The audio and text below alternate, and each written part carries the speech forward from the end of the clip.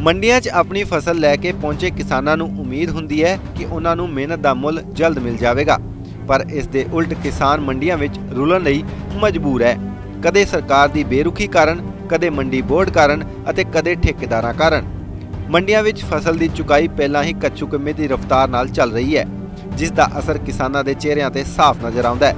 ਤੇ ਹੁਣ ਮੰਡੀ ਬੋਰਡ ਅਤੇ ਸਰਕਾਰਾਂ ਵੱਲੋਂ ਠੇਕੇਦਾਰਾਂ ਨੂੰ ਹੀ ਬਲੈਕ ਲਿਸਟ ਕਰਨਾ ਸ਼ੁਰੂ ਕਰ ਦਿੱਤਾ ਗਿਆ ਹੈ। ਅਸੀਂ ਪਹਿਲੀ ਦਫਾ ਗਵਰਨਮੈਂਟ ਨੇ ਸਰਕਾਰੀ ਪਾਲਿਸੀ ਬਣਾਈ ਆ ਵੀ ਮਜ਼ਦੂਰ ਆਪਣਾ ਸਿੱਧਾ ਵੇਤਨ ਲੈ ਸਕਦੇ ਆ। ਉਹਦੇ ਮੁਤਾਬਕ ਅਸੀਂ ਤਿੰਨ ਮਜ਼ਦੂਰਾਂ ਨੇ ਮਤਲਬ ਕਮੇਟੀ ਨੇ ਅਸੀਂ ਟੈਂਡਰ ਪਾਇਆ ਬੂਟਾ ਸਿੰਘ ਮਲਕੀਤ ਸਿੰਘ ਤੇ ਜਗਤਾਰ ਸਿੰਘ। ਅਸੀਂ ਤਿੰਨ ਬੰਦਿਆਂ ਨੇ 70 ਬੰਦਿਆਂ ਦਾ ਟੈਂਡਰ ਪਾਇਆ। ਅਸੀਂ 70 ਰਜਿਸਟਰਡ ਬੰਦੇ ਆ। ਟੈਂਡਰ ਕਿੰਨੇ ਦਾ ਸੀਗਾ? ਤੇ ਟੈਂਡਰ ਹਾਂਜੀ? ਟੈਂਡਰ ਕਿੰਨੇ ਟੈਂਡਰ ਦਰਾਹਾ ਕਲਸਟਰ ਦਾ ਟੈਂਡਰ ਪਾਇਆ ਜੀ ਅਸੀਂ। ਸਾਡਾ ਸਾਰੇ ਗਦਾਮਾਂ 'ਚ ਬਹੁਤ ਵਧੀਆ ਕੰਮ ਚੱਲਦਾ ਜੀ।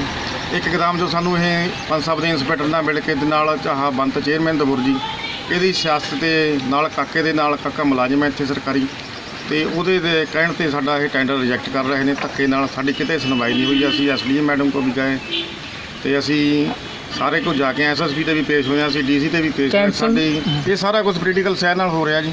ਸਿਰਫ ਇੱਕੋ ਹੀ ਬੰਦਾ ਸਾਰਿਆਂ ਨੂੰ ਆਪਰੇਟ ਕਰਦਾ। ਮੈਨੂੰ ਹੈਰਾਨਗੀ ਦੀ ਗੱਲ ਆ ਵੀ ਇੰਨਾ ਵਧੀਆ ਸਾਡਾ ਸਟਰਕਚਰ ਬਣਿਆ ਹੋਇਆ ਉਹਨੂੰ ਇਹ ਤੋੜ ਰਹੇ ਨੇ ਸਿਆਸੀ ਦਬਾਅ ਦੇ ਵਿੱਚ। ਠੇਕੇਦਾਰ ਨੇ ਇਲਜ਼ਾਮ ਲਗਾਇਆ ਹੈ ਕਿ ਸਭ ਸਰਕਾਰ ਦੀ ਸ਼ੈ ਤੇ ਜਾਣਬੁੱਝ ਕੇ ਤੰਗ ਕਰਨ ਲਈ ਕੀਤਾ ਜਾ ਰਿਹਾ ਹੈ। ਤਾਂ ਜੋ ਕੁਝ ਸਰਕਾਰੀ ਆਗੂ ਆਪਣੇ ਲੋਕਾਂ ਨੂੰ ਠੇਕਾ ਦੇ ਸਕਣ, ਪਰ ਇਸ ਸਭ ਦਾ ਸਭ ਤੋਂ ਵੱਧ ਨੁਕਸਾਨ ਕਿਸਾਨਾਂ ਨੂੰ ਹੋ ਰਿਹਾ ਹੈ। ਵੱਡੀ ਸਮੱਸਿਆ ਜੀ, ਆਹ ਇੱਥੇ ਪਿਸ਼ਾਬ ਕਰਨ ਲਈ ਕੋਈ ਜਗ੍ਹਾ ਬਣਾਈ ਤਾਂ ਹੋਈ ਹੈਗੀ, ਪਰ ਉਹ ਗੰਦੀ ਇੰਨੀ ਆ ਜਿਹਦਾ ਕੋਈ ਪਰਦਾ ਨਹੀਂ ਹੈਗਾ, ਕੋਈ ਲੈਣ ਨਹੀਂ ਦੇਣ ਨਹੀਂ।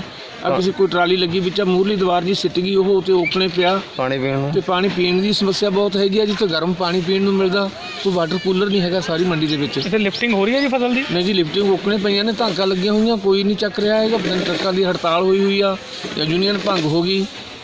ਪਰਮਾਤਮਾ ਜਾਣਦਾ ਥੋੜੀ ਥੋੜੀ ਜਗ੍ਹਾ ਸਪੇਸ ਬਣਾ ਕੇ ਬੋਰੀਆਂ ਬਾਰੀਆਂ ਪੱਲੀਆਂ ਲਾ ਕੇ ਕਣਕ ਪਰੇ ਉਰੇ ਕਰਕੇ ਤਾਂ ਢੇਰੀਆਂ ਸਟਵਾਉਂਦੇ ਨੇ। ਫਿਰ ਕਿਤੇ ਜਾ ਕੇ ਕੰਡਾ ਲੱਗਦਾ ਫਿਰ ਕਿਤੇ ਜਾ ਕੇ ਤੋਲ ਹੁੰਦੀ ਹੈ ਜੀ ਪਰ ਮੰਡੀਆਂ ਵਿੱਚ ਆਗੂਆਂ ਦੇ ਬਿਆਨ ਇੱਕ ਦੂਜੇ ਨਾਲ ਮਿਲ ਨਹੀਂ ਰਹੇ। ਇੱਕ ਅਧਿਕਾਰੀ ਕਹਿ ਰਿਹਾ ਹੈ ਕਿ ਟਰੱਕ ਲੇਟ ਆ ਰਹੇ ਹੈ ਤਾਂ ਲਿਫਟਿੰਗ ਨਹੀਂ ਹੋ ਰਹੀ। ਤਾਂ ਤੇ ਦੂਜਾ ਕਹਿ ਰਿਹਾ ਹੈ ਕਿ ਠੇਕੇਦਾਰੀ ਰੱਦ ਕਰ ਦਿੱਤੀ ਗਈ ਹੈ।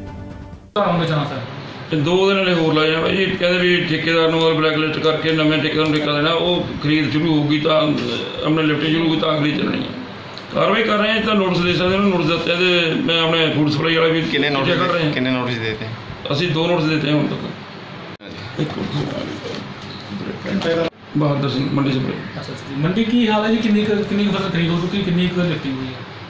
ਮੈਂ ਖਰੀਦ ਤਾਂ ਹੋ ਗਈ 5 ਲੱਖ 19063 ਕੁਇੰਟਲ ਖਰੀਦੀ ਗਈ ਹੈ। ਅੱਛਾ ਜੀ। ਉਹਦੇ ਵਿੱਚੋਂ ਨੇ ਕੁੱਲ ਚੱਕਣ ਤੋਂ ਰਹਿੰਦੀ ਆ ਤਿੰਨ ਤਿੰਨ ਲੱਖ ਬਾਈ ਹਜ਼ਾਰ 20 ਕੁਇੰਟਲ ਚੱਕਣ ਤੋਂ ਰਹਿੰਦੀ ਆ ਮੰਡੀਆਂ 'ਚ। ਅੱਛਾ ਅੱਛਾ। ਜਿਹੜੀ ਲਿਫਟਿੰਗ ਲੇਟ ਹੋ ਰਹੀ ਹੈ ਉਹਦੇ ਕਾਰਨ ਕੀ ਹੈ ਜੀ? ਇਹਦੇ ਵਿੱਚ ਕਾਰਨ ਇੱਥੇ ਤਾਂ ਸਾਡੇ ਲੇਬਰ ਦੀ ਮਤਲਬ ਪ੍ਰੋਬਲਮ ਆ ਰਹੀ ਹੈ। ਲੇਬਰ ਦਾ ਡਿਸਪਿਊਟ ਆ ਮਤਲਬ ਤੁਸੀਂ ਕੋਈ ਠੀਕ ਹੈ ਜੀ। ਏਜੰਸੀ ਨੋਟਿਸ ਕੱਢਿਆ ਜੀ ਕੋਈ ਹਾਂ ਅਸੀਂ ਐਸੇ ਨੋਟਿਸ ਕੱਢੇ ਆ ਕੱਲ ਵੀ ਕੱਢਿਆ ਤੇ ਤਿੰਨ ਦਿਨ ਪਹਿਲਾਂ ਵੀ ਕੱਢਿਆ 72 ਘੰਟੇ ਦੀ ਲਿਫਟਿੰਗ ਸਰਕਾਰ ਅਤੇ ਸਿਆਸਤ ਕਾਰਨ ਨੁਕਸਾਨ ਆਮ ਵਿਅਕਤੀ ਨੂੰ ਹੀ ਚੁੱਕਣਾ ਪੈਂਦਾ ਹੈ।